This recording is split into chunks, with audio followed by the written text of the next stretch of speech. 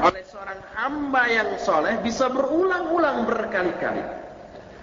Ini sebagai tasbit, mengokohkan, menguatkan seorang hamba yang berpegang teguh di atas yang hak.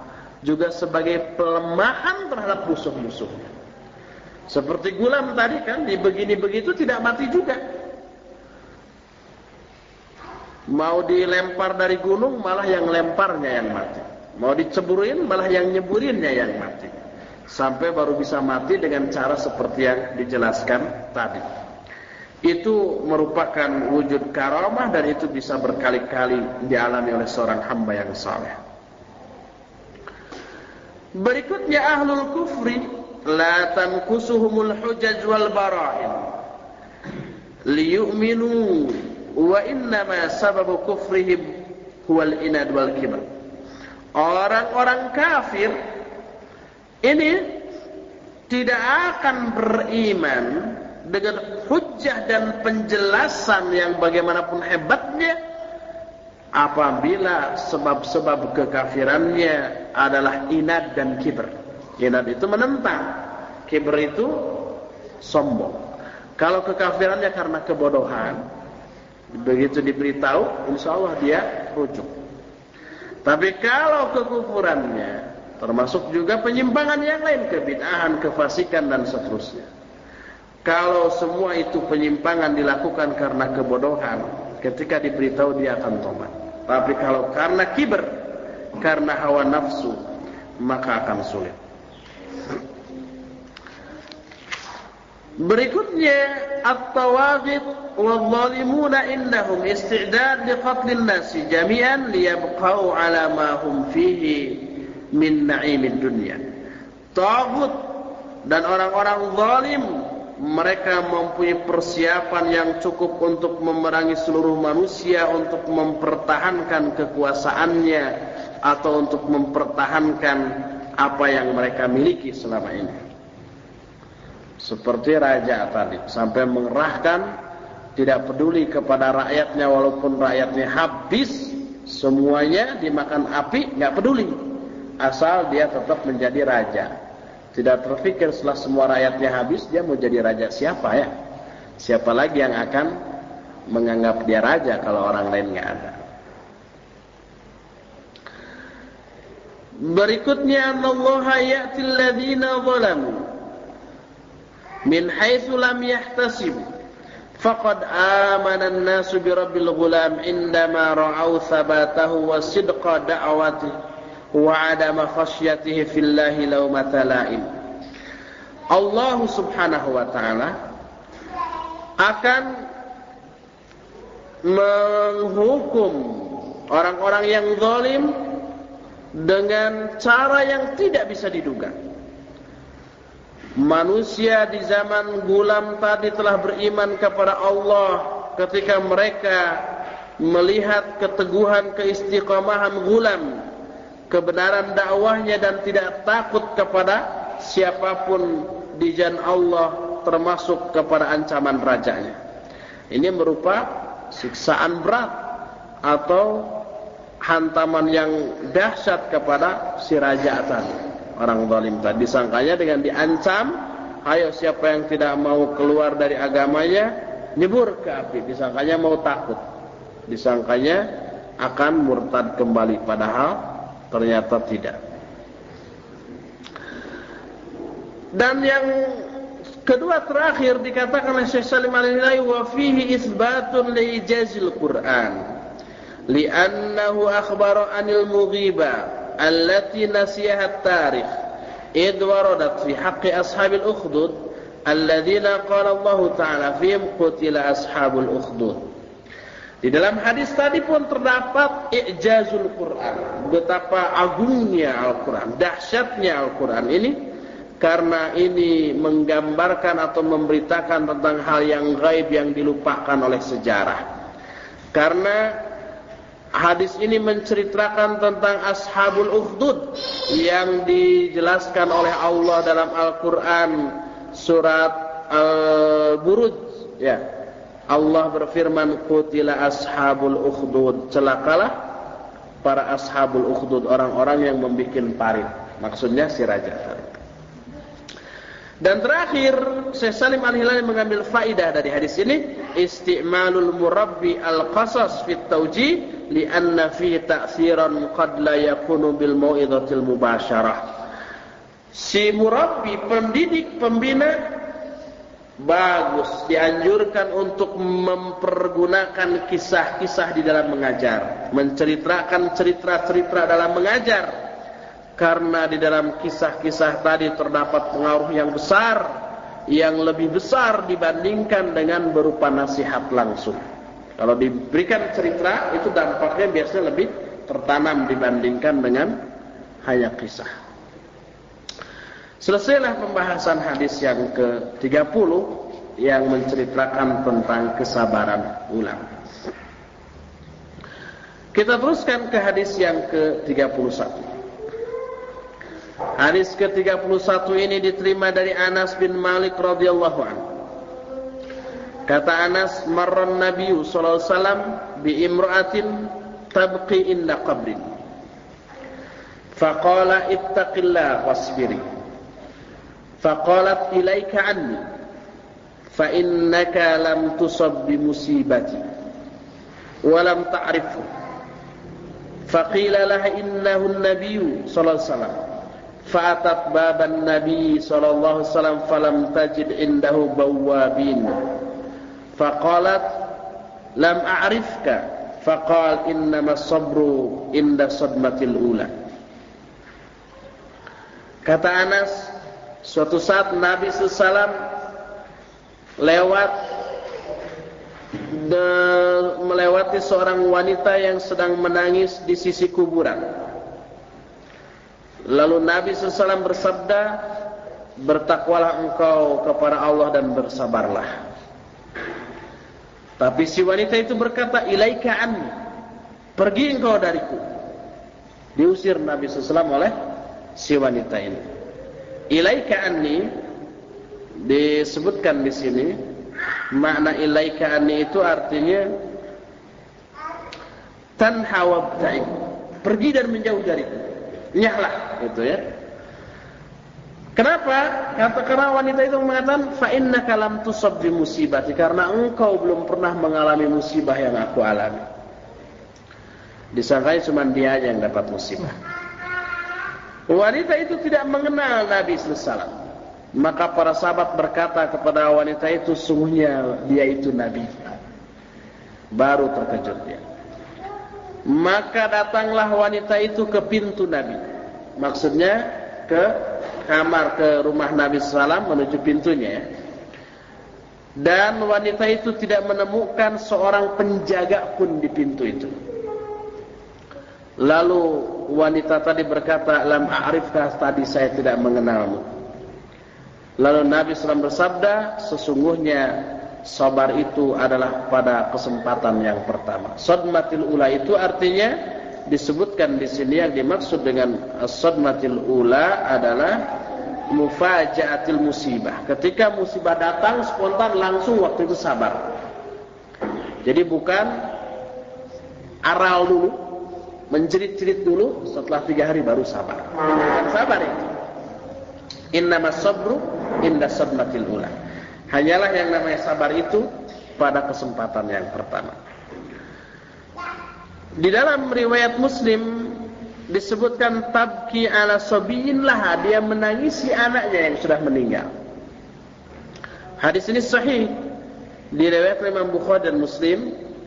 Sahih uh, riwayat Bukhari bisa dilihat dalam kitab Fathul Bari juz 3 halaman 148 Sedangkan dalam Sahih Muslim hadisnya nomor 926. Dari hadis tadi kita bisa ambil beberapa faidah. Pertama, ada musabri yunafit taqwa, bahwa tidak sabar itu berarti menafikan takwa. Tidak sabar berarti tidak takwa. Kedua, as-sabru alladhi yuhmadu alaihi sahibuh ma kana inda mufaja'atil musibah bi khilafi ma ba'da dhalik fa innahu idza talatil ayyam waqa'a sulhu tab'an wa hina idzin la fa'idata min as-sabr li'annahu ja'a ba'da fawatil awan wa hadha ahadu syurutis sabril jamil wa hiya al-ikhlas wa adamu syaqwa Allah wa ayyakuna fi awani Kedua, sabar yang para pelakunya terpuji adalah sabar ketika pertama kali mendapatkan musibah. Begitu musibah datang langsung sabar. Berbeda dengan orang yang sabarnya beberapa hari setelah itu. Karena apabila sudah berlalu beberapa hari, biasanya orang merasa reda. Setelah untuk kematian atau musibah apa pun, tiga hari ke sana sudah reda plong gitu ya. Apalagi nangisnya sudah habis. Setelah nangis biasanya plong. Baru sabar. Itu bukan sabar. Pada saat itu tidak ada lagi faidahnya sabar. Karena sabar tersebut dilakukan bukan pada waktunya. Sama aja dengan orang yang ketika datang penjahat diem begitu. Ketika penjahatnya sudah pergi baru dia menantang. Aduh kalau datang sekali lagi nih. Gitu. Pas datang beneran takut lagi. Dan ini termasuk salah satu syarat-syarat sabar yang jamil. Salah satu syarat sabar yang jamil adalah pada waktunya. Pada waktu pertama kali memperoleh musibah. Syarat yang lainnya adalah ikhlas dan tidak mengeluh kepada Allah Subhanahu wa taala serta sabar itu dilakukan pada waktunya. Itu yang kedua. Ketiga, tawadhu'un Nabi sallallahu alaihi wasallam bil jahil. Dari hadis tadi kita mengetahui tawadhu'nya Nabi sallallahu dan betapa tolerannya beliau kepada orang jahil. Seperti wanita tadi tidak tahu bahwa beliau itu nabi, mengusir tetapi tidak marah sama sekali. Keempat, mulazamatul amri bil ma'ruf wan nahyi 'anil munkar. Harus selalu beramar ma'ruf, nahi munkar. Kelima, al mar'u la yujaru 'alal musibah li'annaha laysat min sana'ah. Wa innama yujaru 'ala husni niyatihi wa sabati wa jamili sabri wa ridahu bi qada'illahi wa qadari. Walidzalik amara Rasul sallallahu alaihi wasallam al mar'ah bi taqwallahi was sabr bahwa seseorang tidak akan memperoleh pahala karena musibah. Jadi dia memperoleh pahalanya bukan karena musibah itu. Karena musibah bukan satu perbuatan. Bukan perbuatan manusia yang memperoleh musibah itu. Tapi dia akan memperoleh pahala dari niatnya yang baik, dari keistiqamahannya, dari kesabarannya, dari ridhonya terhadap qada dan qadar Allah. Oleh karena itulah Rasulullah SAW memerintahkan wanita tadi untuk bertakwa dan bersabar. Ketujuh, musamahatul musab. Keenam, musamahatul musab wa qabulu i'tidari. ولذلك انصرف عنها النبي صلى الله عليه وسلم إنما قالت إليه إذا ما قالت له إليك عني fa innaka lam tusab bi musibati. Betapa penggang rasanya Nabi SAW kepada orang yang memperoleh musibah. Oleh karena itu Nabi SAW cukup berpaling ketika wanita itu mengusir dirinya. Tidak marah, oh lagi tidak normal biarkan. Yang ketujuh.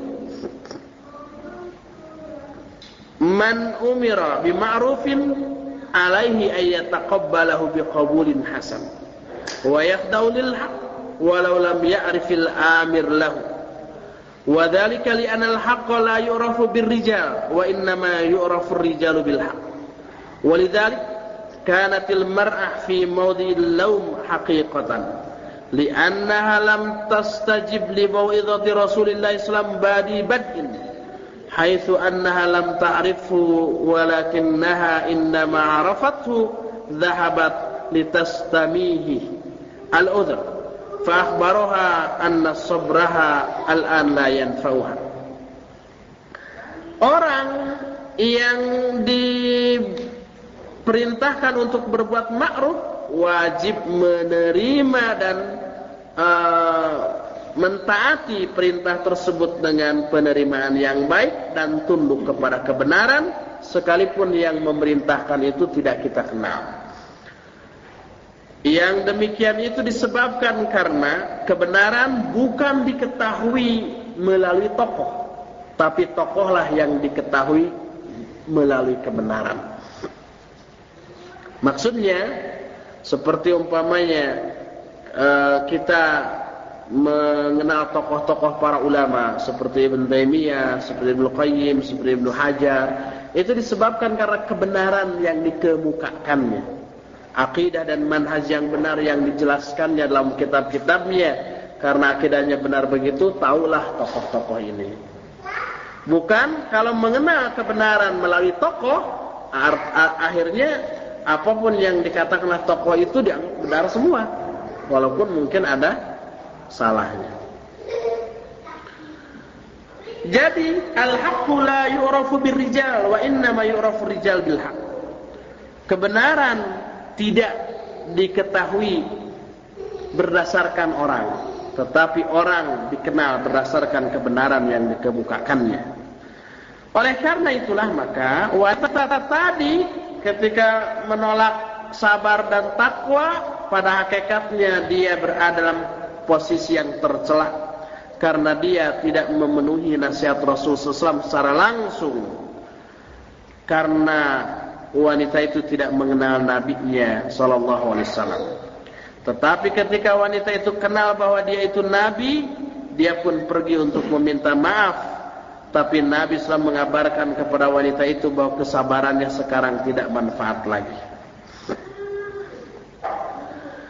Berikutnya alal hakimi wal qadi alla yattakhidha ma yuhjibuhu an ra'yatihi aw an hawaijin nas fal mar'atu innama atat Rasulullah sallam lam tajid indahu bawabin seorang hakim atau qadi apalagi seorang ulama tidak boleh mengambil mengangkat bodyguard pengawal pribadi yang akan menghalangi rakyat atau orang lain untuk menemui dirinya.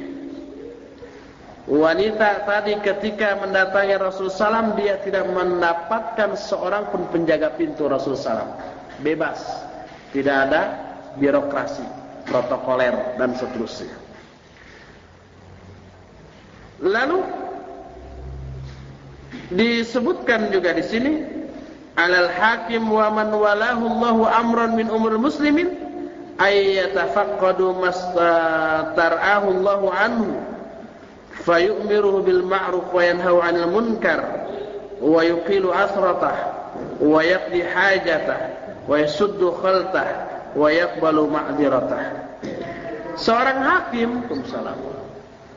atau penguasa dia harus melaksanakan amanah Allah Subhanahu wa taala beramar ma'ruf nahi munkar menyempitkan kesulitan memenuhi kehidupan kebutuhan orang banyak dan menutupi segala macam kecurangan menghindarkan segala macam kesurangan dan menerima setiap permintaan maaf rakyatnya yang minta maaf kepadanya dari hadis ini pun ada pembahasan dari Syekh Salim Al-Hilali bahwa hadis ini menunjukkan bolehnya wanita berziarah kubur. Karena wanita tadi berziarah ke kubur, nangis di kuburan tidak dilarang oleh Nabi SAW ziarahnya. Yang dilarang adalah bukan larangan, itu juga hanya disuruh sabar dan takwa. Ini menunjukkan bahwa tidak terlarang bagi wanita untuk berziarah kubur. Kalau ada orang yang mengatakan barangkali Rasul SAW tidak ingin memberikan dua larangan sekaligus kepada wanita itu. Ia sudah melarang harus apa? Melarang nangis ya juga melarang ziarah kubur. Makanya dilarangnya satu-satu dulu. Dilarang nangis dulu. Barangkali ada yang mengatakan begitu. Maka itu dijawab Rasul SAW la yuakhirul bayan an waqtil hajah. Wa lam yunkir 'alaiha ba'da an hada'at wa. Nabi SAW tidak pernah mengakhirkan penjelasan pada waktu yang dibutuhkan. Juga Nabi SAW pun tidak mengingkari wanita itu setelah wanita itu datang. Kemudian kan setelah nangisnya reda kemudian datang ke Rasulullah tidak dilarang untuk ziarah kubur nanti jangan ziarah kubur lagi nggak begitu. Ini menunjukkan bahwa memang tidak terlarang. Tapi bukankah ada hadis yang mengatakan Rasulullah melaknat wanita-wanita yang berziarah kubur? Jawabnya hadis tersebut dikeluarkan oleh Imam Ashabus Sunan kecuali Imam Ibnu Majah. Tetapi dalam sanadnya ada rawi namanya Abu Salih Maula Ummu Hani. Dia ini dhaif menurut jumhur ulama ahlul hadis. Adapun yang sahih adalah la'anallahu zawaratul kubur. Allah melaknat wanita-wanita yang sering berziarah kubur. Maksudnya kata Syekh Salim Al-Hilal al-mukaththirati al minaz ziyarat, orang yang wanita yang terlalu sering berziarah. Li'anna al-iktsara madhanatul ma'siyah min nauhin wa nadbin wa syaqqin thiyab wa inda idin faziyaratu takhruju an muradiha syar'i wa huwa al-i'tibar wa tudhakkira al-akhirah karena mempersering ziarah kubur itu sangat terbuka peluang untuk bermaksiat berupa meratap merangsak mengoyak pakaian dan ketika itu terjadi maka ziarah itu sudah keluar dari maksud utamanya yaitu mengambil pelajaran dan mengingatkan kepada akhirat. Adapun bolehnya wanita berziarah kubur dengan syarat tidak terlalu sering berdasarkan nas berikut ini. Pertama, keumuman sabda Nabi SAW yang diriwayatkan oleh Imam Muslim, "Inni kuntu nahaitukum an ziaratil kubur fazuruha." fa inna tudzakkirukum bil akhirah. Aku dulu pernah melarang kalian untuk berziarah kubur. Sekarang silakan kalian ziarah kubur karena ziarah kubur itu mengingatkan kalian kepada akhirat.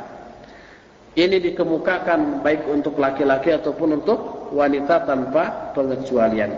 Siapa yang mengecualikan wanita harus berdasarkan dalil. Alasan kedua, apa yang dilakukan oleh wanita-wanita di zaman para sahabat termasuk istri-istri Nabi sallallahu alaihi wasallam. Dalam sebuah hadis yang dikeluarkan oleh Imam Al-Hakim dan Al-Baihaqi dengan sanad yang sahih dari Jan Abdullah bin Abi Malikah Aisyah suatu saat baru pulang dari kuburan. Maka kata Abdullah bin Abi Malikah, "Ya ummul mukminin min aina aqbalti?" Wahai ummul mukminin, dari mana engkau datang?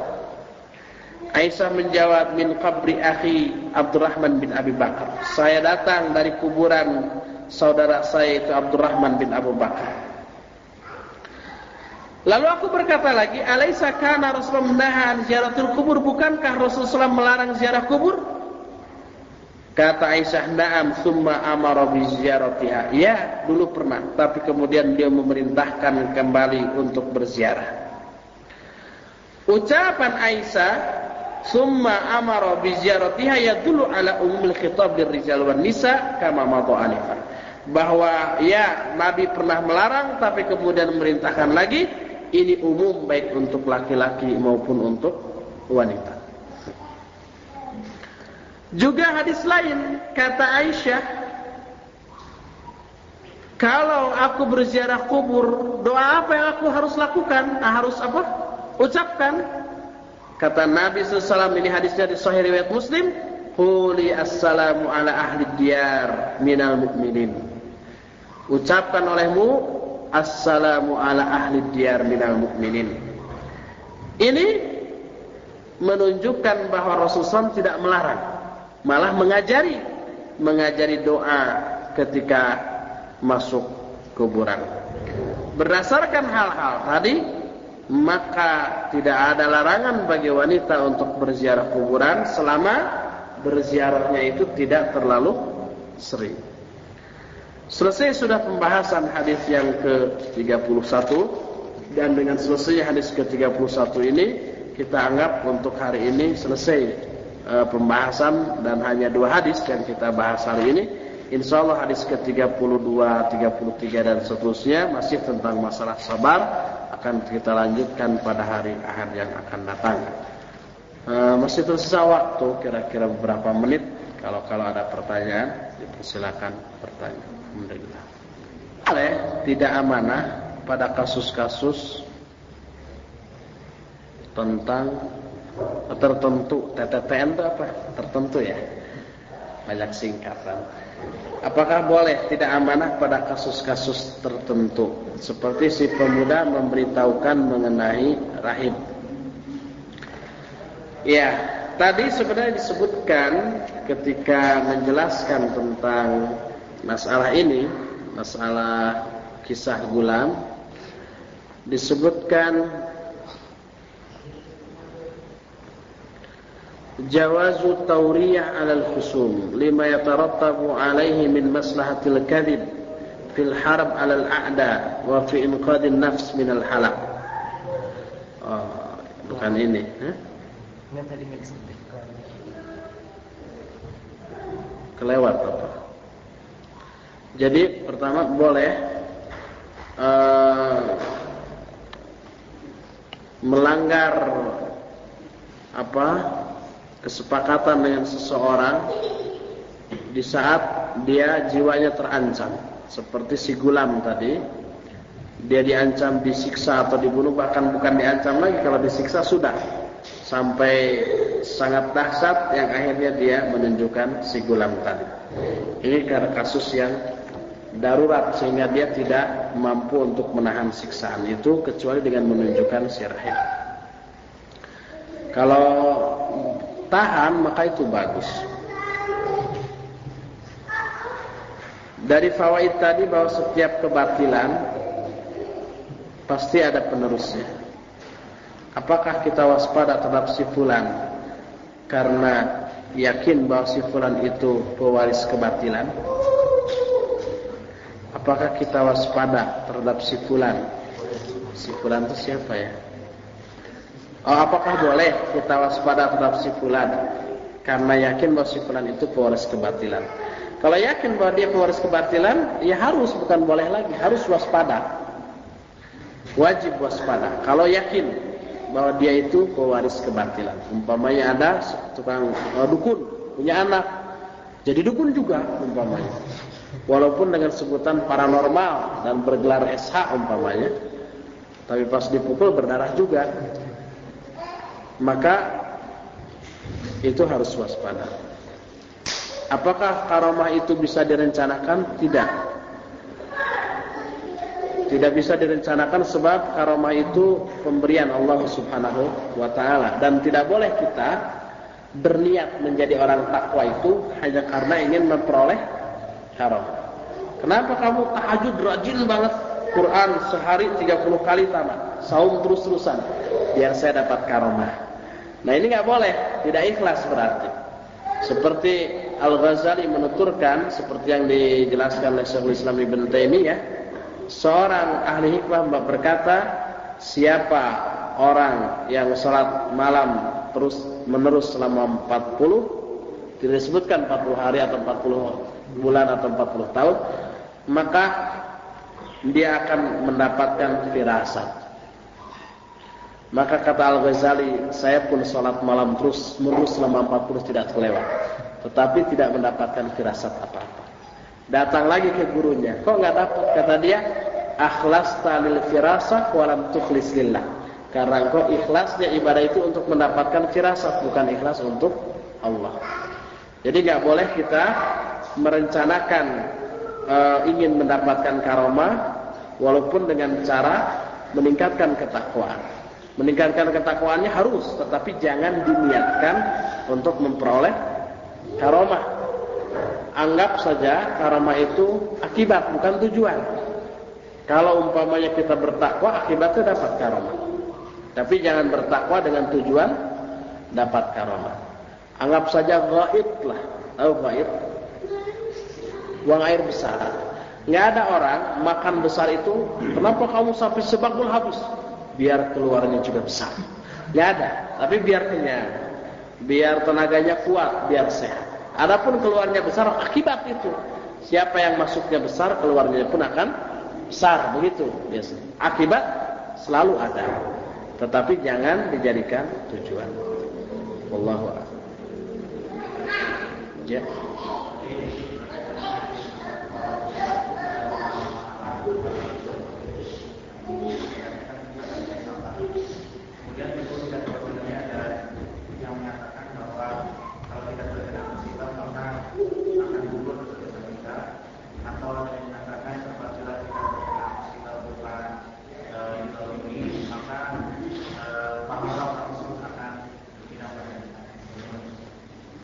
Iya, itu tidaklah bertentangan. Tapi dikatakan musibah itu tidak akan menambah pahala kita dengan musibahnya itu sendiri. Tapi pahala kita akan bertambah dengan datangnya musibah karena kita sabar dalam mengantisipasinya. Niat baik husnudon kepada Allah, kemudian semakin memacu kita untuk meningkatkan ibadah itulah karena hal-hal itulah pahalanya bertambah. Lalu di keterangan lain dikatakan musibah itu bisa menggugurkan dosa.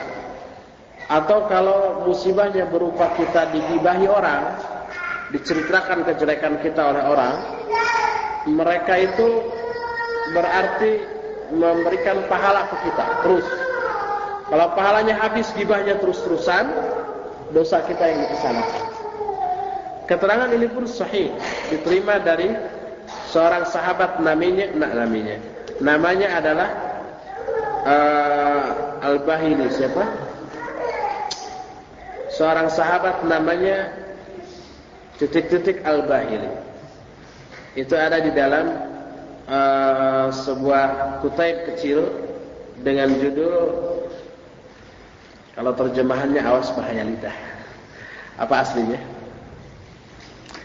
Al-Bayan fi afatil lisan. Sesuai Syekh Al-Jarullah dan itu hadisnya sahih. Abu Usama Al-Bahili, Abu Usama Al-Bahili. Jadi ada sebuah riwayat nanti Abu Usama Al-Bahili meriwayatkan di akhirat nanti ada orang yang terbengong-bengong karena mendapatkan pahala yang banyak yang dia belum pernah melakukan amalan dengan pahala seperti itu. Ditanya dari mana ini? Lalu dijawab ini adalah pahala dari orang-orang yang menggibahimu tanpa kamu ketahui. Jadi diberikan pahala-pahala orang yang gibah itu kepada orang yang digibahinya. Jadi dua itu tidak apa namanya tidak bertentangan. Jadi Pertama, musibahnya itu sendiri, kalau tadi musibahnya musibah berupa bala ya, berupa kecelakaan, hal-hal yang merugikan, bukan berupa gibah. Kalau gibah itu hukumnya lain lagi. Ya, gibah itu sebagai musibah bagi orang yang digibahinya, juga sebagai salah satu bentuk kezaliman kepada sesama muslim dengan ketentuan hukum seperti tadi pahalanya diberikan dan kalau terus-terusan masih gibahnya masih pahalanya sudah habis dosanya diberikan kepada uh, orang yang menggibahi. Wallahu alam. Sudah dulu ya. Sampai di sini dulu.